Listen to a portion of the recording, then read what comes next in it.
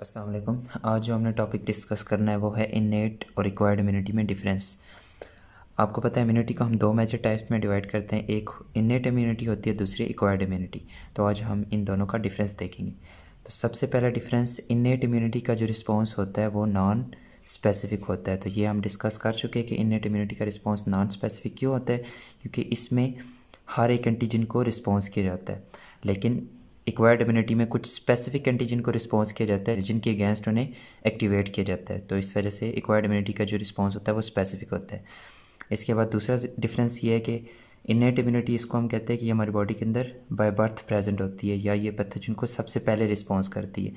اور acquired immunity تھوڑے time کے بعد پیتھوجن کو رسپانس کرتی ہے، اور یہ ہماری باڈی کے اندر سنس برتھ یعنی برتھ کے دوران یہ ہماری باڈی کے اندر پریزنٹ نہیں ہوتی ناٹ پریزنٹ سنس برتھ یہ ہمیں بعد میں ملتی ہے، اس وجہ سے ہم اسے ایکوائرڈ امیونٹی کہتے ہیں۔ اچھا اس کے بعد ہم نے دیکھ بھی لیا تھا کہ ایکوائرڈ امیونٹی ہمیں کس طریقے سے ملتی ہے۔ یا تو یہ ہمیں ایکٹیو طریقے سے ملتی ہے یا تو پیسیو طریقے سے ملتی ہے۔ تو ہم نے اس کی آگے سے دو ٹائپس میں بھی اسے ڈیوائڈ کیا تھا کہ یہ ہمیں کس طرح سے ملتی ہے، ایک پیسیو امیونٹی دوسری ایکٹیو امیونٹی اچھا اس کے بعد تیسرا پوائنٹ انیٹ امیونٹی کے کمپوننٹس انیٹ امیونٹی کے جو ڈفرینٹ کمپوننٹس ہیں، وہ ہماری باڈی کے اندر ختم نہیں ہوتے۔ یعنی یہ پوری لائف یہ والی امیونٹی ہماری باڈی کے اندر رہتی ہے۔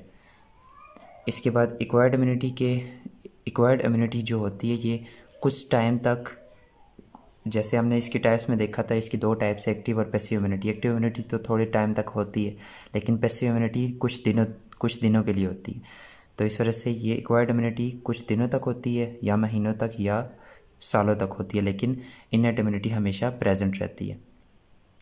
اس کے بعد انیٹ امیونٹی میں کوئی میمری سیلز نہیں بنتے یعنی اس امیونٹی میں انیٹ امیونٹی کے جو کمپوننٹس ہوتے ہیں، ان کے اندر میمری نہیں پریزنٹ ہوتی۔ اس کے کمپوننٹ کو یہ پتہ نہیں ہوتا کہ اس والے پیتھوجن نے پہلے ہماری باڈی کے اوپر اٹیک کیا تھا یا نہیں کیا تھا، لیکن ایکوائرڈ امیونٹی کے اندر میمری سیلز بنتے ہیں۔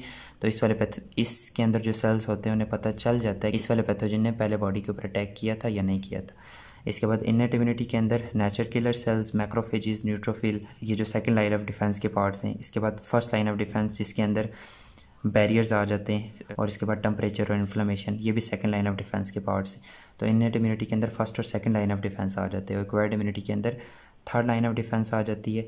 یا اس کے اندر جو سیلز انوالو ہوتے ہیں، وہ کون کون سے ہوتے ہیں؟ بی اور ٹی سیلز تو یہ تھا major difference between innate immunity اور ایکوائرڈ امیونٹی